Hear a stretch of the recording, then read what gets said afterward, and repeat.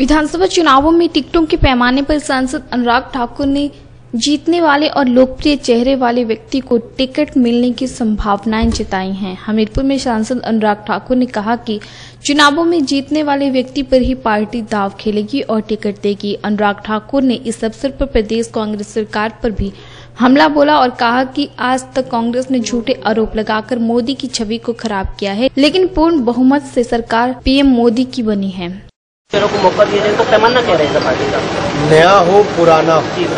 उसमें थोड़ा क्लियर नया हो पुराना हो लेकिन दमदार जीत जीतने वाला हो उसको टिकट मिलेगा जहाँ पर winnability will be the only criteria popularity and winnability will be the sole criteria लोकप्रियता और जीतने की क्षमता केवल यही मापदंड होंगे जिसके कारण जिस, जिसके बलबूते पर अगला टिकट आवंटन होगा अनुराग ठाकुर ने पत्रकारों से कहा कि मुख्यमंत्री वीरभद्र सिंह को अब डर है कि हिमाचल में कांग्रेस का सफाया हो जाएगा।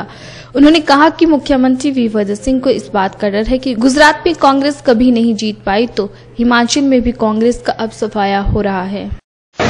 जितने झूठे आरोप कांग्रेस ने चौदह सालों में लगाकर मोदी जी की छवि को खराब करने का प्रयास किया गुजरात की जनता पहले उनको वो सम्मान बार बार जिताकर देती रही।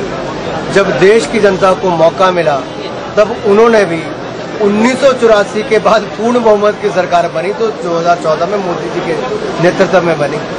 यही अमित शाह ने एक अहम भूमिका निभाई कि वहाँ पर तिहत्तर सीटें उत्तर प्रदेश में जिताई। तो वीरभद्र जी को मैं दर्द समझ सकता हूँ कहाँ से हो रहा है। कि जो गुजरात में कांग्रेस कभी नहीं जीत पाई, वो हिमाचल प्रदेश में भी अब उनका सुपड़ा साफ़ हो जाएगा